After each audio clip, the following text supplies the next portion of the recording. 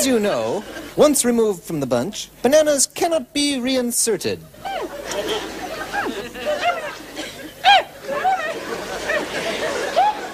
This results in extra bananas lying around underfoot, where they can be hazardous to your health. Well, let me get this straight. You think that Me slipping on a banana. is funny? I do. And I'm tired of pretending it's not. New electric banana sharpener. Show them, Beaker.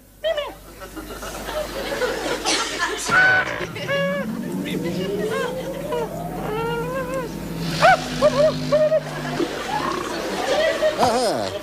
With this equipment, you can store bananas on any convenient vertical surface. Okay, I'm waiting for the punchline. There is no punchline. It's not a joke.